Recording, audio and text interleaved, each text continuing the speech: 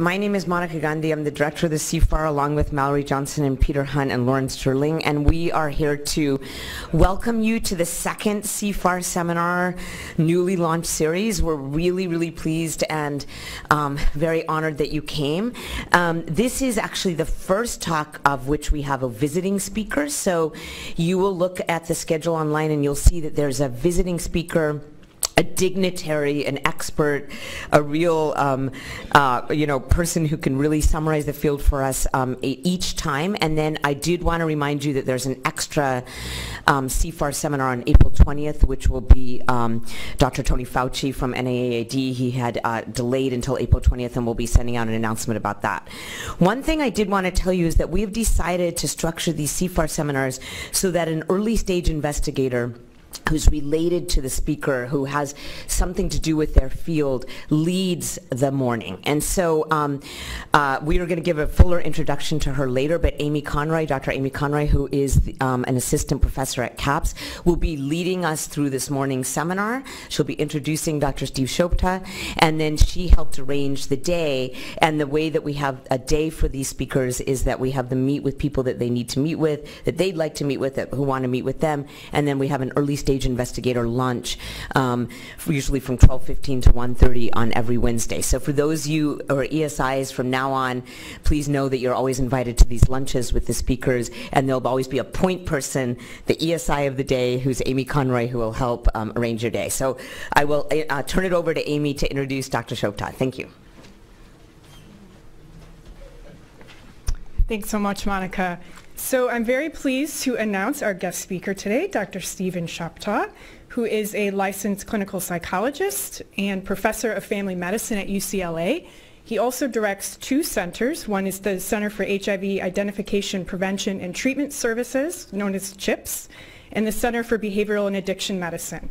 His research is focused at the intersection of addiction and HIV transmission, particularly in the western U.S., where stimu stimulant use is one of the strongest predictors of HIV. Dr. Shoptaw has spent many years working on methamphetamine treatments that utilize both behavioral and pharmaceutical approaches, and he has a very strong interest in contingency management approaches. In addition to his long history of U.S.-based research, he also works in several international settings, including Vietnam and South Africa, where he's a professor of psychiatry at the University of Cape Town. His research in Cape Town centers on issues involving methamphetamine, um, treatment approaches, neuroscience and epigenetics, and as well on cigarette smoking and HIV. So please join me in giving a warm welcome to Dr. Shoptaw, who will be presenting on methamphetamine and HIV, the next decade of HIV prevention. Thanks, Amy. Thanks, Monica. Uh, thanks for recognizing so uh, upfront that addiction is a major piece in the work in HIV prevention. I, I very humbly will put forward the idea that methamphetamine is um, going to be the next decade of uh, our work in HIV prevention, and I'm going to lay out the reasons why I think that today.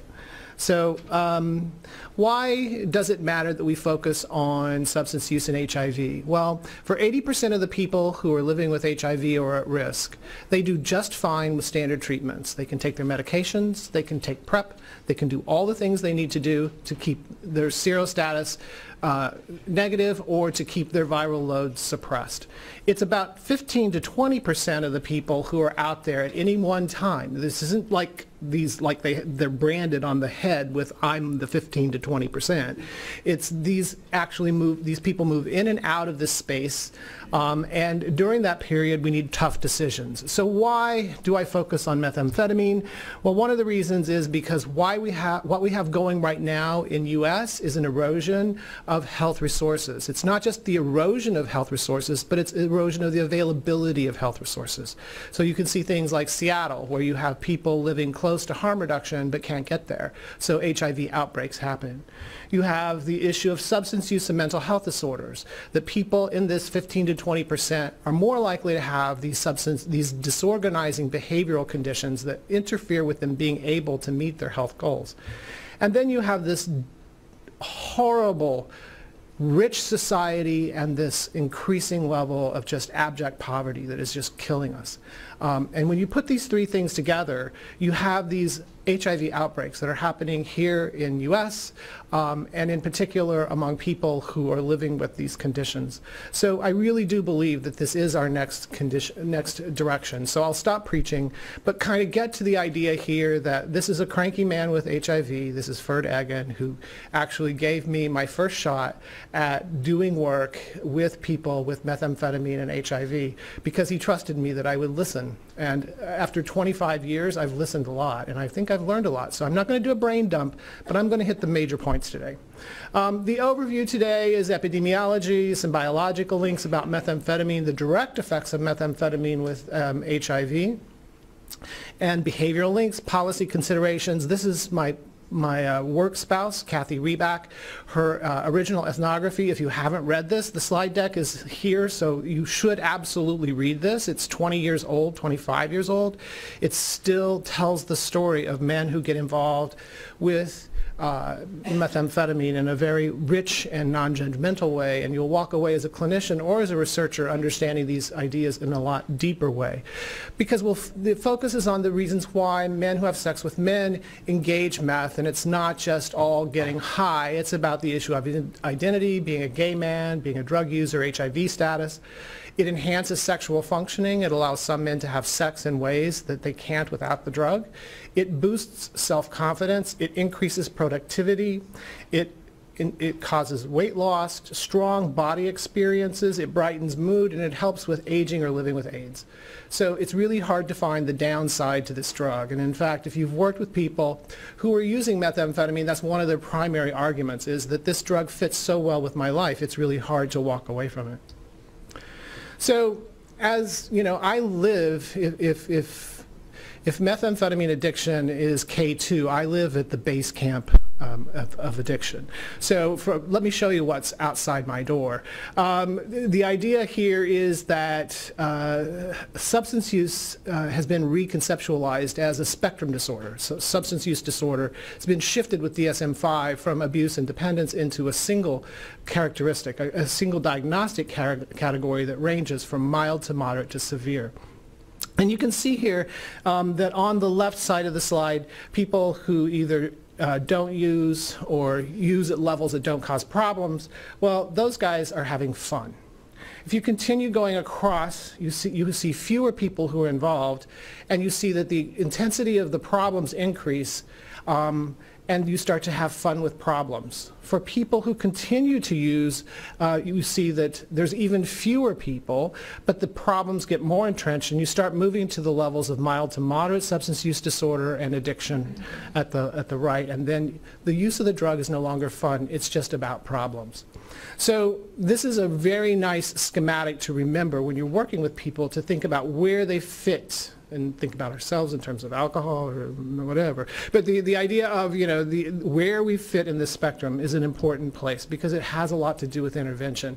This is the DSM-5 uh, categories, uh, uh, the behavioral categories for addiction.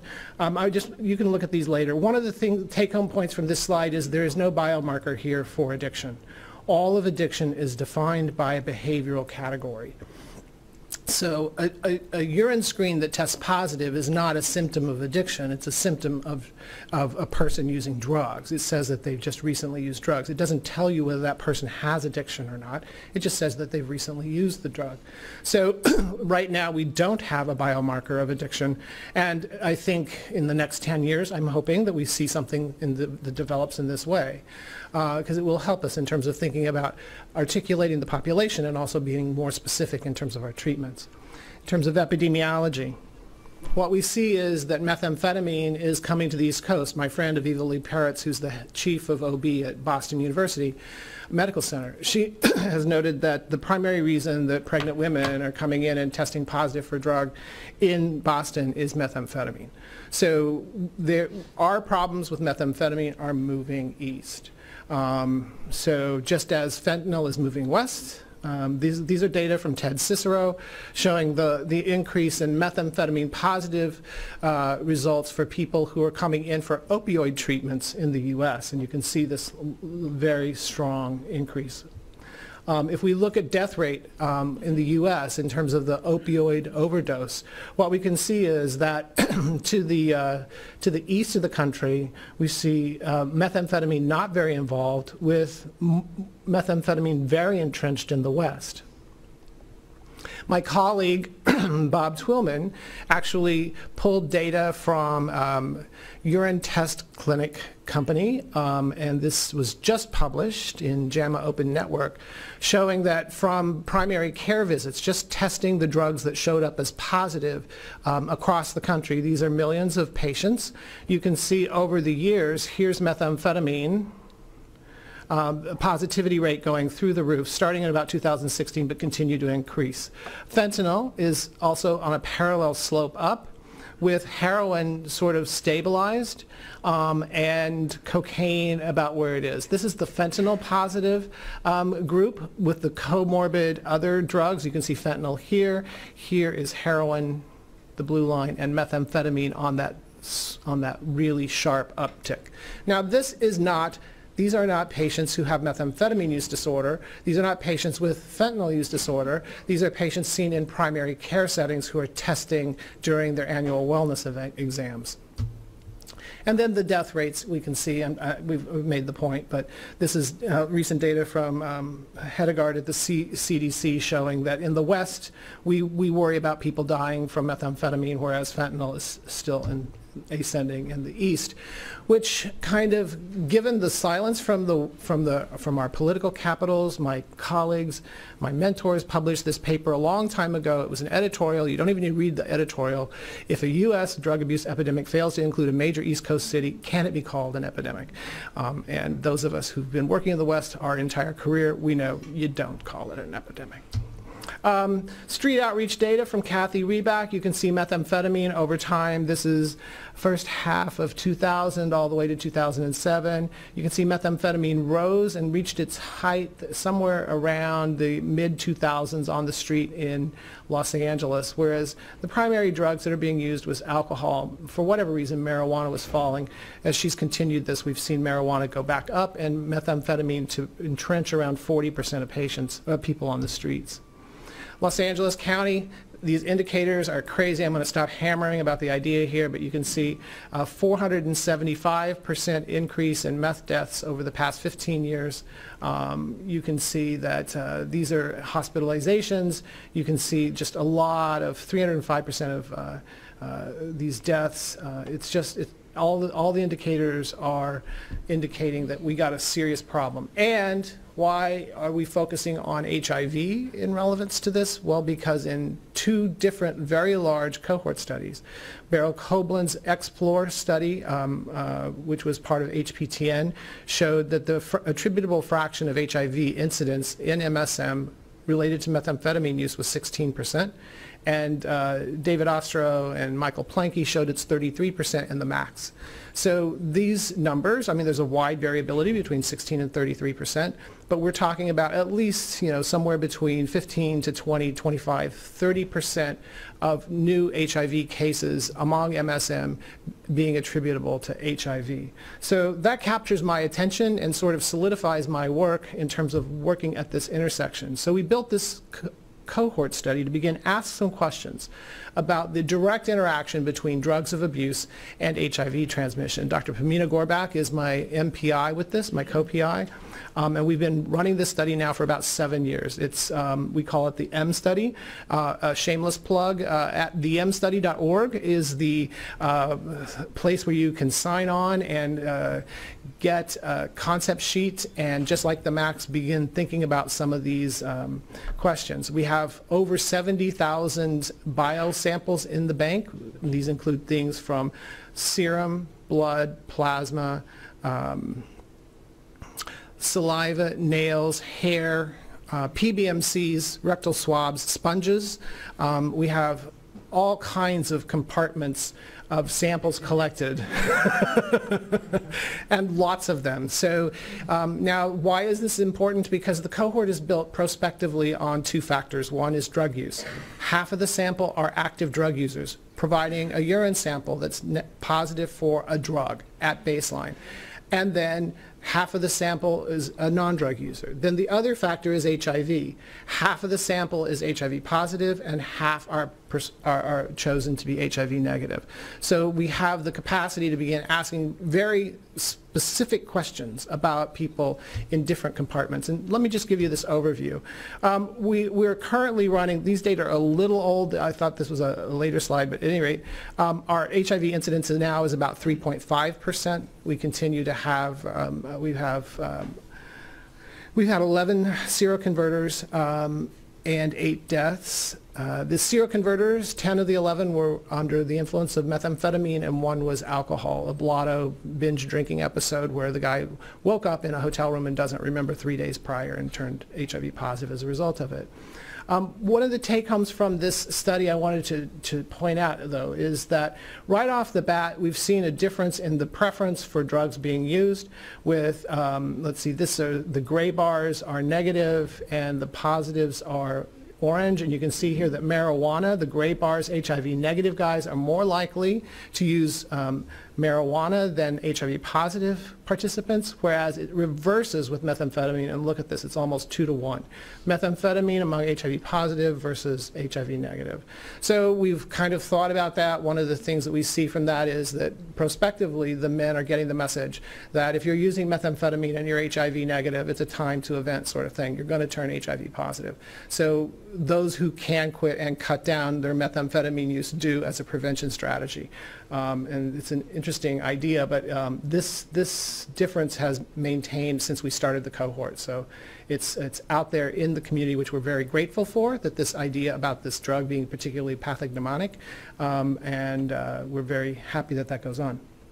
In terms of, so, so let's look at some of the biological links. Now, why am I paying attention? I'm a psychologist. Why would I pay attention to biological links? Because I can remember being in rooms where my patients would tell me things like, uh, hey, you know, I'm taking my antiretrovirals, but for whatever reason, I'm, I'm viremic. I can't get it under control. And so then you start asking, well, are you using methamphetamine? Yeah, but not that much. And it's like, I hadn't used methamphetamine prior to the blood draw and all this. Sort of, I don't quite get it. So I actually believe people when they talk to me sometimes. And so it started an idea that maybe there is something going on with methamphetamine um, and pro-inflammatory cytokine release or antiretroviral therapy efficacy. So what we did um, is we've organized all our work around this initial observation. These are medical care coordination outcomes from Los Angeles. These are data currently under review. This was presented last year at CROI. So the medical care coordination program in Los Angeles County is much like what you have here, where you have someone who is either viremic, HIV positive, um, or someone who has chaotic behavioral factors, and the clinician says you could really use some extra support. The medical care coordination team in involves a nurse case manager, a social worker, and a navigator. So people come into this program not willingly. They come in, I mean, they're nominated to come into the program. I mean, they, it's not Russia. They, they could elect not to be in it. But they, they, uh, they could, um, but, but the, you get the invitation. It's not something you come in and say, I want this extra resource. So so I have a postdoc, Michael Lee, who actually modeled the probability of viral suppression um, prior to coming into the treatment. This, this is the year, let's see, can you see? it? This is the year prior to coming into the MCC um, program, and then this is the, there's this jump that happens around the time that you begin MCC enrollment, and, and, and you can see that the probability of viral suppression goes up and remains up for most groups. The two groups where it doesn't work as well are the groups with comorbidities. This is this purple line. And as you break out the comorbidities, you can see that the two that lay on top of each other are methamphetamine use and homelessness. Okay, so some I'm seeing nods of the head, and it's like, yeah, I know those patients. Yeah, we know those. We know who they are. So, so it's so the issue here is not just the take home from this is. I mean, it's a, there's a lot to talk about. This slide. It's very fun to look at. This is a program evaluation. It's not a clinical trial. So these are tens of thousands of observations over these periods. Um, but what we can see here is this profound effect of stimulants in terms of reducing the likelihood of viral suppression. So does that mean all those people are out there not taking their medication? Well, some early data, these are data from Ellis, um, in 2003. This kind of goes back to that same sort of thing of how do I understand my patients. So to cut to the story, what they did is they took, they took urine to test for methamphetamine, they took self-report to ask whether you used methamphetamine, and then they took a blood sample on the day you came in to your uh, uh, HIV care uh, treatment setting. And so they kind of like did a sort of like panel of what happened as a result of those three factors. So what the bottom line was, was that in here, the, the, the light bars here, these are viral levels for people who are not on ART, right? The, brown, the brown ones here are people who are on ART, and then the bottom part here is whether you are tested negative for meth, and you tested, uh, and you said you didn't uh, use meth. So that group here, you're clearly lower than the comparators who are coming in and not on ART. Uh, ART. If you come in and you test positive for meth, um, and you, I'm sorry, if you say you used meth, but you test negative for meth, so the urine is, is negative, but you said you used, so you're positive there, you, you, you look the same. So that was kind of funny. But if you test positive for meth, independent of what you say, you have high viral loads. So what was that? Well, uh, originally Ellis said the simplest explanation is the people aren't taking their medication. Um, but that goes in, that flies in contrast with my patients who are saying, I'm taking my medication. So what could be going on? Well, on the right side of the chart, I'm not going to go into this, but there are clear ways in which drugs of abuse interact with the immune system in important ways that could change um, how HIV is expressed.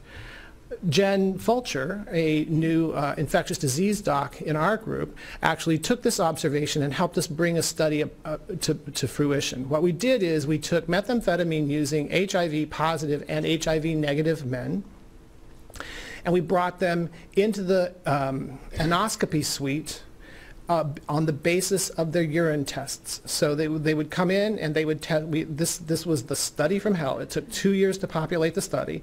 We got methamphetamine users out of bed who came in and tested. If their urine was positive at 8 a.m., we got them into the endoscopy suite at 9 so that we could actually get rectal tissue, rectal sponges, all kinds of things. So we, we didn't know when they had last used methamphetamine, but we knew it was within the last 48 hours or so. So we we had a real proximal marker. So when we began to look at what was going on in terms of pro-inflammatory cytokine release, we knew we were able to document that there was methamphetamine recently on board. And we compared that group with HIV positive and HIV negative to people who hadn't used methamphetamine. They came in and their urine did not show any evidence of methamphetamine, both groups. Jen was able to show that in gut, recent exposure to methamphetamine substantially increases pro-inflammatory cytokine release compared to not using methamphetamine. So that was pretty cool. I mean, that was, that was pretty cool. The, the kicker of this is that circulating blood did not show the same sort of pro-inflammatory cytokine release. So it was specific to the compartment of gut. Now, why is that important?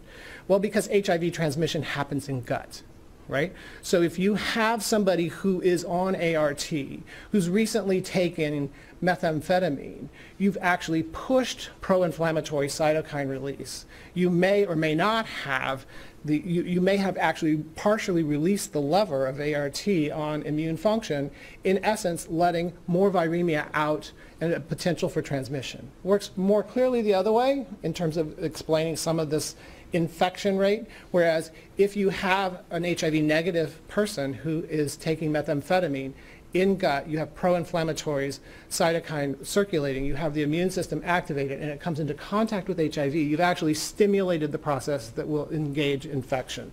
So it's an interesting sort of biological explanation of what we're seeing in terms of um, um, HIV.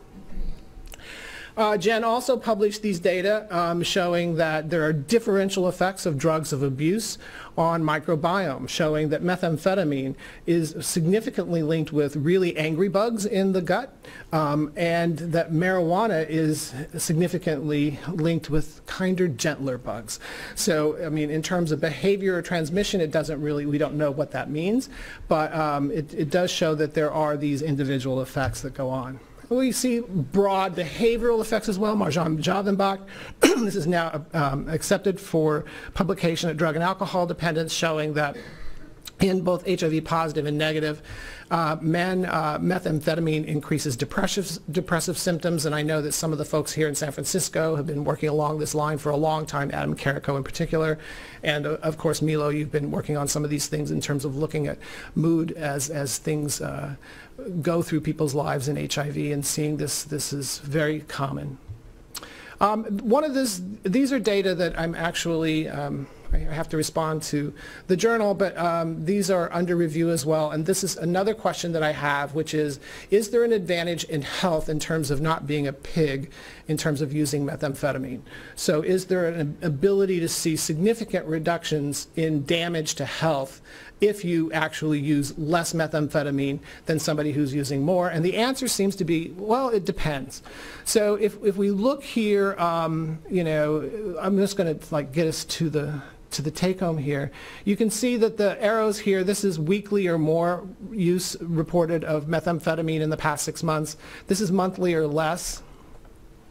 Uh, methamphetamine use in the past six months, and these are visits, not people, and these are no methamphetamine mentions. And what you can see here is that for most of the negative uh, structural determinants of health, social determinants of health, you can see significant stepwise reductions in, that correspond with level of dose for unemployment, unstable housing, being in jail, being a smoker, uh, using heroin, doing poppers, having concurrent partners, and being syphilis positive.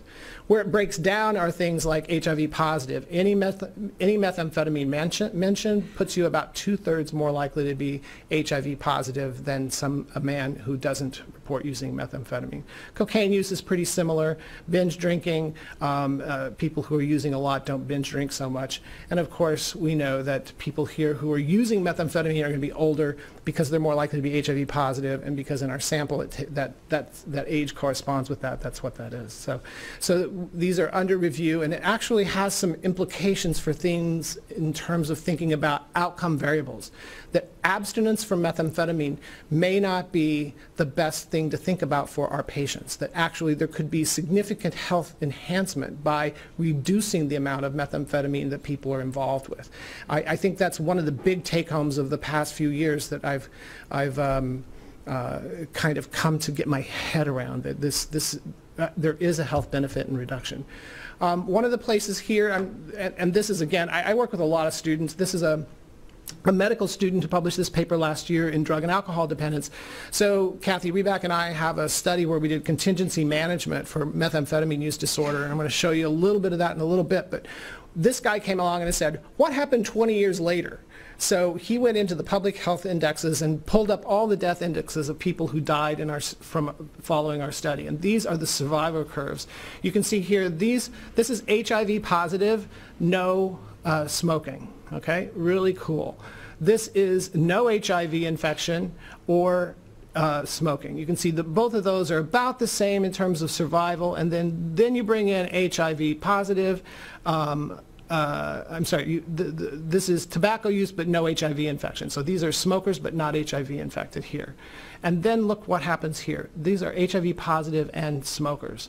So you see this huge drop in more in, in survivability that happens over the past, say, you know, the, you know, this this period. It starts here at about, you know, year six, five. The the curves start to separate and you can see that the significant effect of the combination of methamphetamine and HIV in this group. And in fact, if you look at the 20-year crude mortality rate, it's almost five times more likely to die if you have gay men who have meth exposure who are HIV positive who also increase, in, in, incorporate tobacco use in their life. So, so one of the take another take home from today is if you're working with your patient, they're HIV positive and they're using methamphetamine and they're smoking, there's substantial health benefit to get them to quit.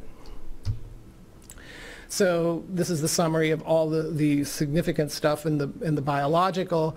Uh, it, it, works with pro-inflammatory cytokine response in HIV positive. The gut flora is disturbed by methamphetamine in opposite fashion to marijuana. Um, there's a dose response effect that goes on. And smoking is bad for everyone, but especially for meth using people living with HIV. So what about behavior? What are we going to do? I mean, I was talking to Dan, and he was saying, like, we got, we got this issue of what are we going to do about behavior. I'm going to breeze us through this. Their behavior change tools, contingency management, or what my participants originally called with Cathy Reback, they, they called it peeing for dollars. This, this, uh, this is a, a really important way of helping people to stop. These are our original data showing contingency management, management just providing urine that's clear of methamphetamine metabolite significantly, that's this, that's this, this bar here during treatment, outperformed cognitive behavioral therapy, outperformed talk therapy. If you combine the two, you get a bit of a boost. It's not significant. Um, and it's, if you, I mean, this is, this is amazing to me about thinking about, we weren't talking about how to arrange your life, get, get right with your parents, nothing like that. It was like just providing this, the, the, the, um, the, the vouchers. Uh, another student, Kimberly Ling, came along and took my data and said, what happens if we look at the behavioral economics? Is there an underlying mechanism of contingency management? So she looked at our data post hoc and was able to show that we had a post hoc sorting out of people who saved their vouchers versus people who spent their vouchers. And you can see here, if you just look at them, this is, this is how they sorted out, 11.7 to 2. So it's like, it's seriously, boom, just like that no manipulation of the data. And what she saw was that I have yet to see an efficacy data slide that looks like this, where spenders were significantly more likely to have proportions of negative urine results at any point during the trial compared to savers. So what does that mean? A very good question.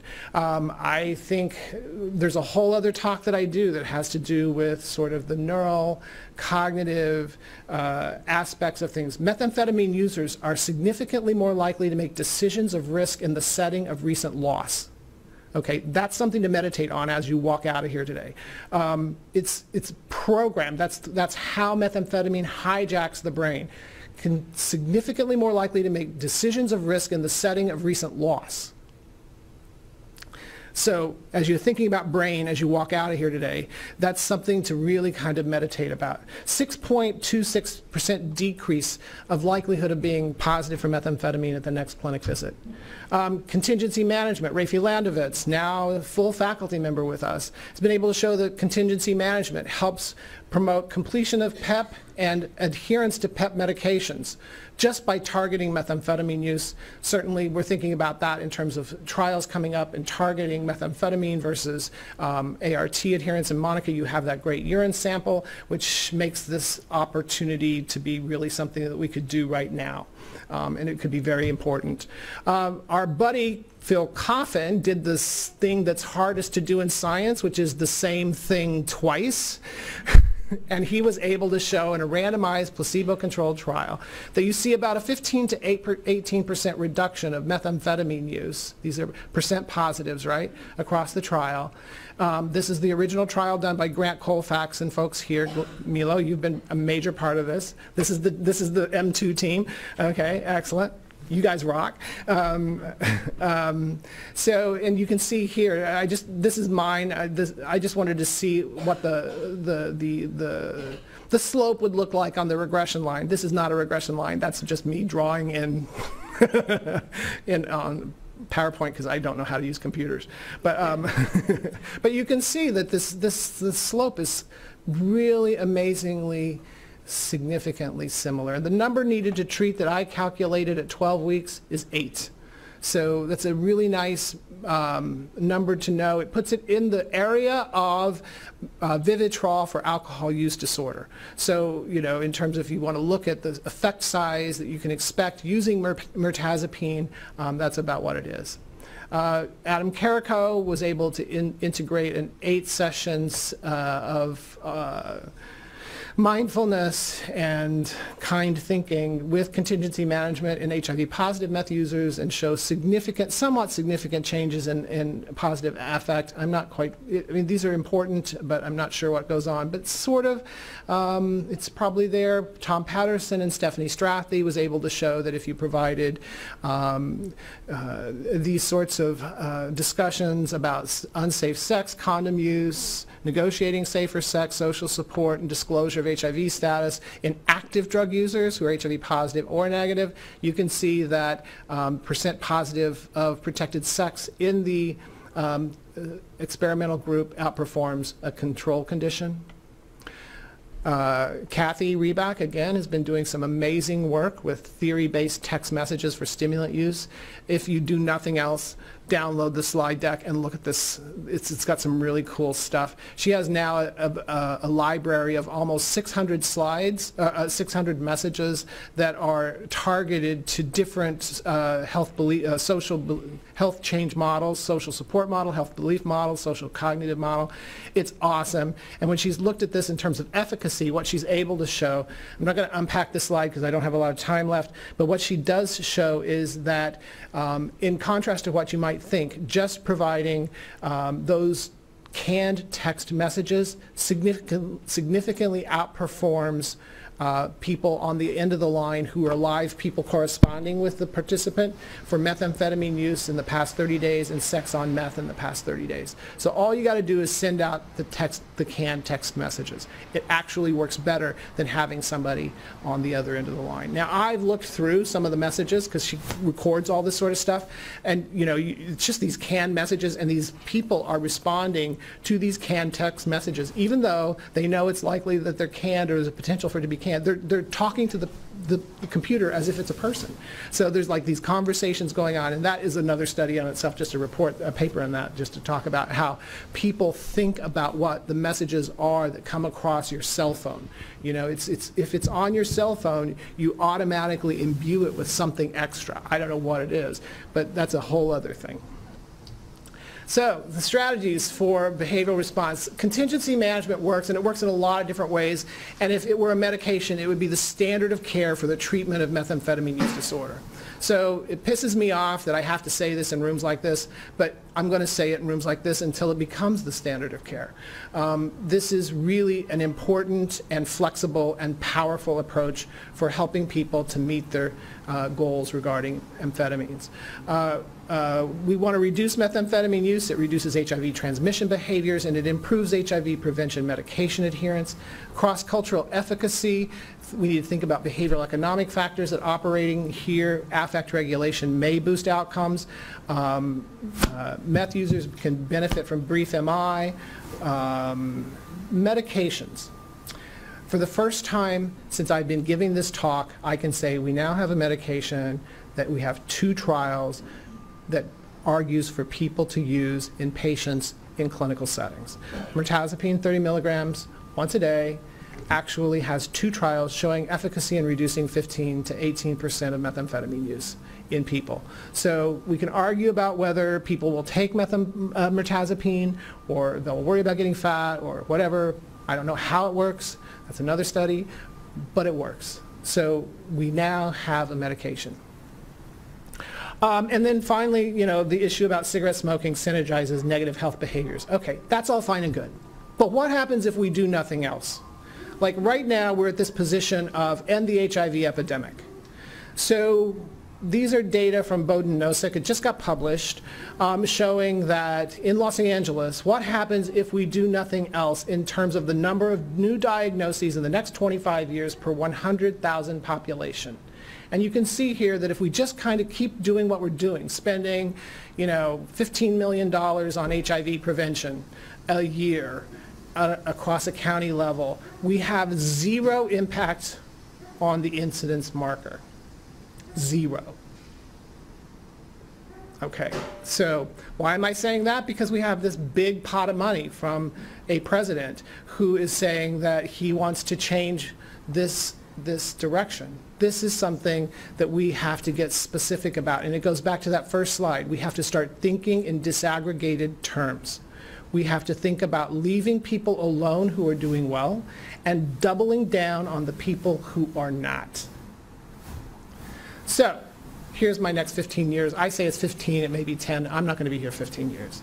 But you know, what we need to do is we need to focus on disaggregating our work, to focus on the biological effects, the behavioral inhibition, disinhibition, the cognitive effects of methamphetamine, particularly on HIV incidence and MSM, as one of the places we need to focus. We need to recognize intersectionalities of meth users, focus on race, ethnicity, pay attention to comorbidities. And then always, always, always start paying more attention to the structural determinants. There's no point in giving a person a medication if they have no place to put it uh, because they're homeless. Uh, getting smart with investments and monitoring outcomes. We need data systems that talk to each other. This is one of the things that's really high on my list right now, is just pushing our systems so that we can share data to better and more quickly get, uh, get signals back about what's happening. Ambassador Birx did that in Africa. Why can't we do that here? Um, and then finally, um, we need to think about simultaneous involvement of existing levels of public health, addiction, and primary care systems, not in silos, but together in rooms like this where we actually sit down and come up with a coherent, integrated strategy. Okay, stop there.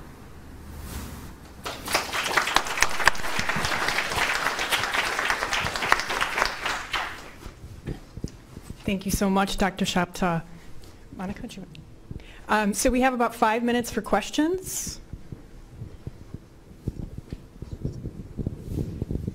That was really great. I was really horrified by the methamphetamine overdose on the left side in red and how much, because I think that people under-recognize how um, a non-opiate overdose can happen.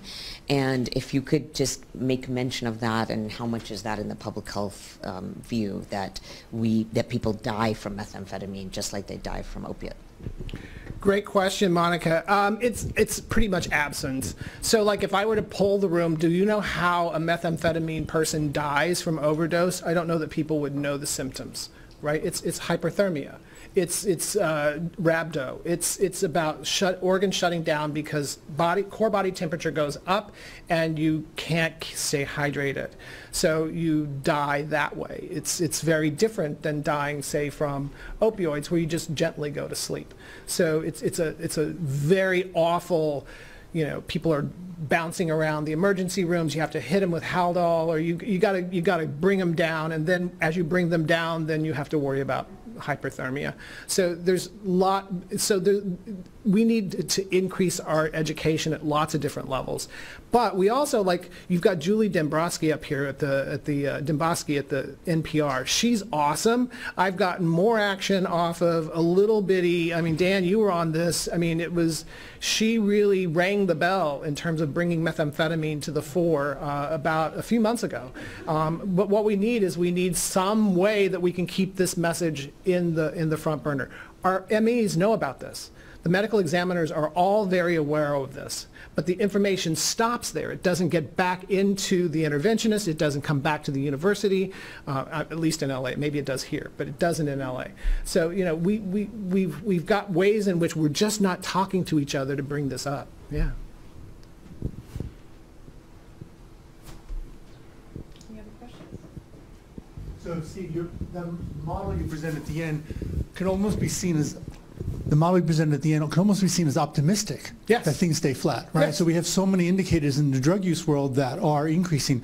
We have a national model just came out um, that says that HIV clustering in among populations who use drugs um, increases. We don't get a generalized HIV outbreak, but we do get more of what we're seeing, which is that we've already had six or seven uh, people who inject drugs clusters of HIV around the country. So what are your thoughts that about, you know, meth use is going up, uh, fentanyl is a frequent, uh, frequent cycling drug, you know, a frequent use drug, about, uh, you know, are you really optimistic that things stay flat or, or is HIV going up?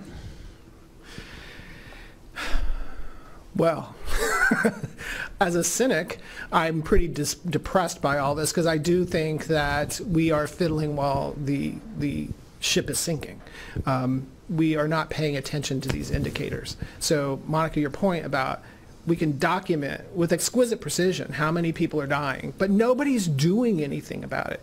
You know, I think one of the things that I think it's health, I mean, about the addiction piece, the other part about this is true, and I'm as somebody who's got 10 years of working with the HPTN, the HIV Prevention Trials Network, and now working with ACTG, is that addiction has yet to be incorporated formally as a chronic illness within the setting of primary care. And that's got to change. It's not, I mean, this, this is, we are, we're not even at 1985 where psychiatry was with the development of SSRIs in terms of managing depression. But that's where we are. We're way behind the curve on that, but we've got to follow that path primary care needs to get involved. And we don't need to talk about this, but like, have you ever tried to get a patient into medication for, you know, opioid use disorder in an outpatient setting? No, you can't do it. You got to go through the emergency department. One of the most expensive healthcare interventions that we have is about the only one that will treat the patient same day. So it's, it's, we, we've got some work to do here in terms of like educating our field, building alliances, getting people comfortable about treating addiction within primary care settings. All right, thank you very much.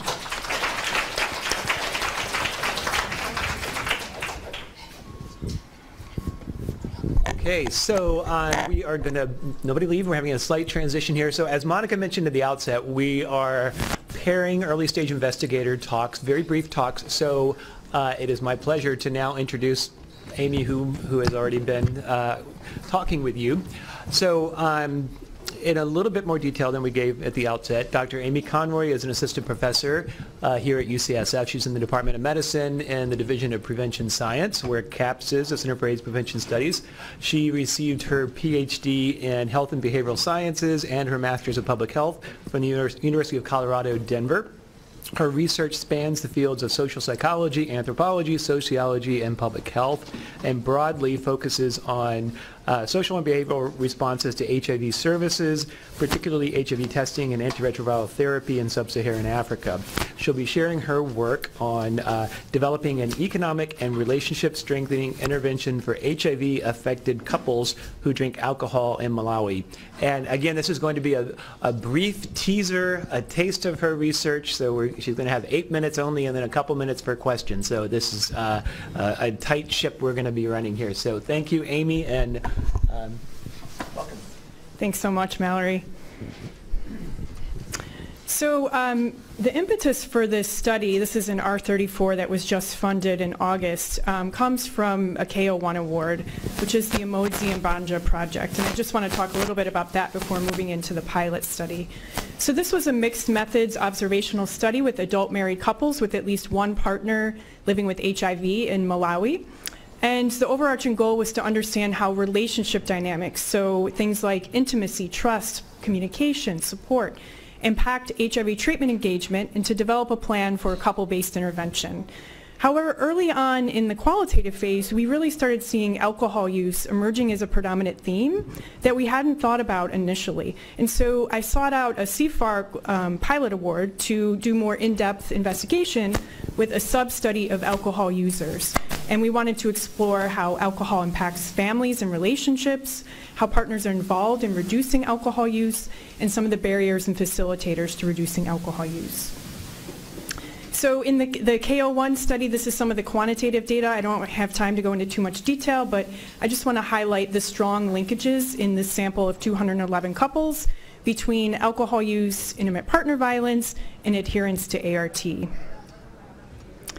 We recently published a qualitative paper coming from um, the Umodzi and Banja project, really speaking to the idea of couple interdependence and how partners impact each other and the alcohol in turn impacts the relationship.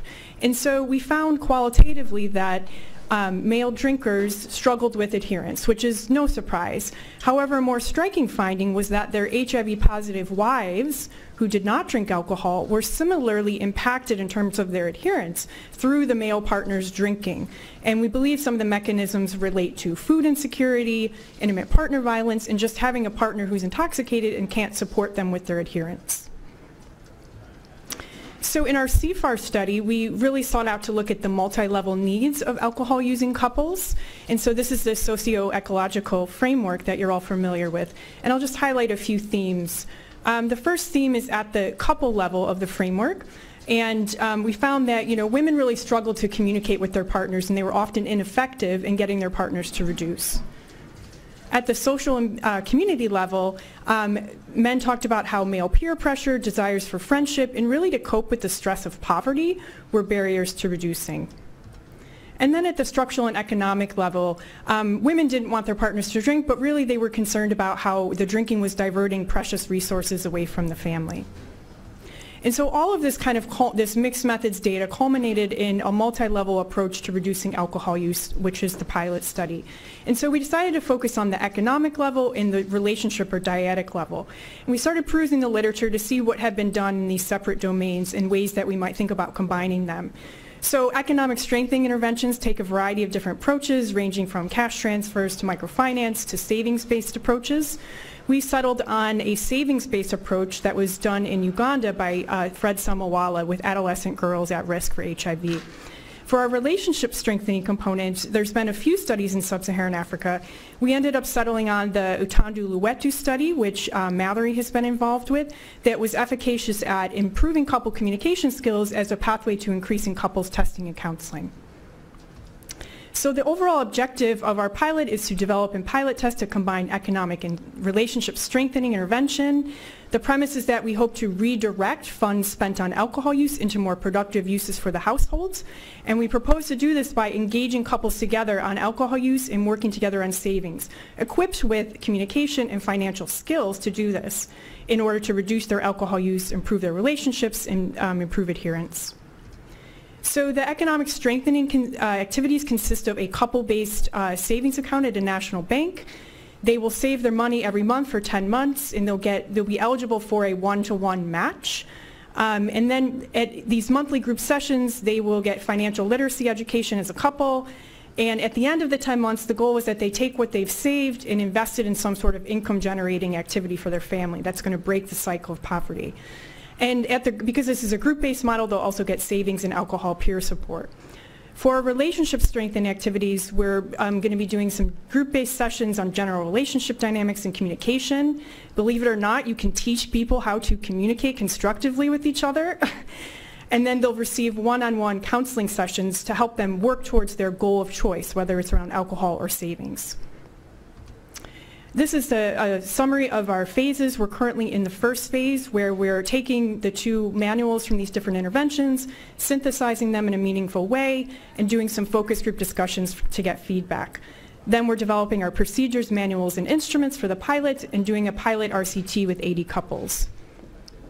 So this is our pilot study design. We're um, recruiting drinkers. Most of them will be male um, who are on ART from several HIV clinics We'll enroll their partner. We'll randomize them to either the treatment arm, which is the combined intervention, or an enhanced standard of care. They'll participate for around 10 months in the intervention, and then we'll assess them after they've taken their savings, hopefully started their business, and we'll follow up with them at 10 and 15 months. So the pilot's really focused on feasibility and acceptability. We're, we're not going to look at preliminary efficacy um, in the pilot, but we will in the future R01, hopefully to follow. We'll be looking at number of drinking days confirmed with a PEth biomarker, as well as self-reported adherence and viral suppression. Um, our secondary outcomes, we're, we're, very interested in mental health and, and food insecurity as well. So I hope I've uh, communicated to you in, in, the very short period of time really the need for these multi-level approaches to addressing complicated issues around alcohol use in sub-Saharan Africa. I don't think it's enough just to empower people economically if they don't have the skills to work together as a couple around these issues. Approaches that address syndemics or co-occurring conditions that interact interact synergistically is really important. And this study is essentially addressing the syndemic of violence, substance use, and HIV. And then finally, I really think in this particular context, it's critical to involve partners, but also family members and friends and others who offer support. Um, which I think is going to be key to reducing alcohol use. And this, we're proposing just one model of one way of doing this with couples, but certainly this is an area of future research. So just want to acknowledge the co-investigators on my K01, Drs. Hahn, Neilands, Darbes, Ssewamala, and Mkandawire. My K01 mentors, two of whom are sitting in the room, Drs. Johnson and Gandhi, our funders, the CFAR, and our staff and research participants. Thank you.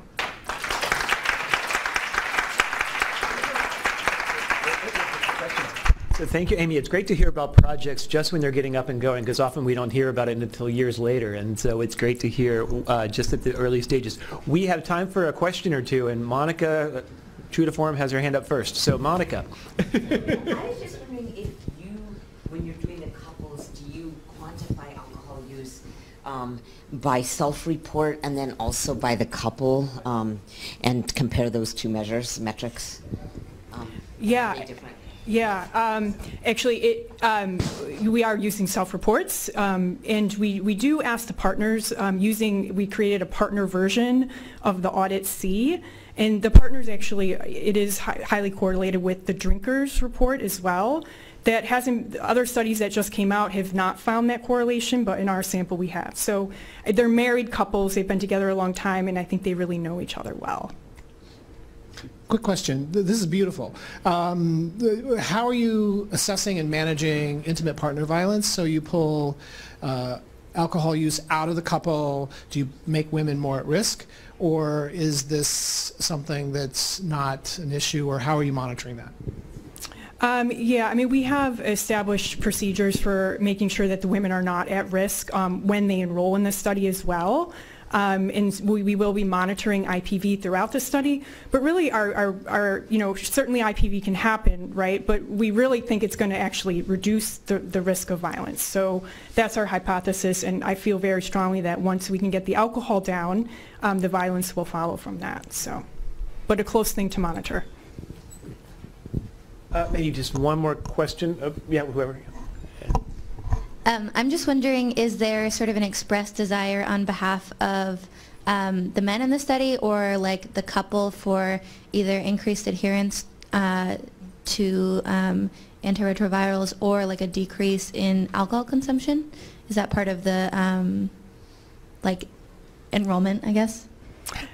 Um, you know, we're, we're going to pitch the study to them and, you know, explain what's involved. And um, uh, surprisingly, a lot of the men are interested in reducing their alcohol use. You know, contrary to what we would think, they do want to change. They just don't know how, and they need support to do that. So, um, yeah, we'll find out once we start enrollment. And I think that's what, uh, one of the benefits of acceptability and feasibility uh, are part, are key outcomes for the study. So that'll be, I'm I'm sure, one of the things you're watching for. So I want to, we've done an amazing job. I want to thank our speakers and the audience for keeping us on schedule for this very ambitious thing. Um, So thank you, Steve Shoptaw, for coming all the way from LA and being here earlier than any of us were here this morning, amazingly. Um, And I, um, I invite everyone to follow up with him if you can't find his contact information. I'll dig up his home address and send you that. No. Um, And Amy is here as well. She's at UCSF and very responsive, and I know she's probably eager to uh, field any more questions or future collaborations with you. So thank you all, and please keep coming back to, uh, next month we have, oh gosh, uh, Bob Siliciano, what's he going to be talking about? Yes, So, um, Monica, I'm looking at you. What's, what's our next? So he's coming on February 12th. It's Dr. Robert Siliciano. Yep. um, From Hopkins, and again, we'll have another ESI luncheon. It's a good opportunity for early investigators to sign up for that lunch. Yes, and the whole, and the, Michael Peluso will be his ESI. Right. So that's the pairing there. And so we've got all the others on the uh, website, and we've got a very uh, full and uh, impressive uh, calendar this year. So thank you all, and happy 2020.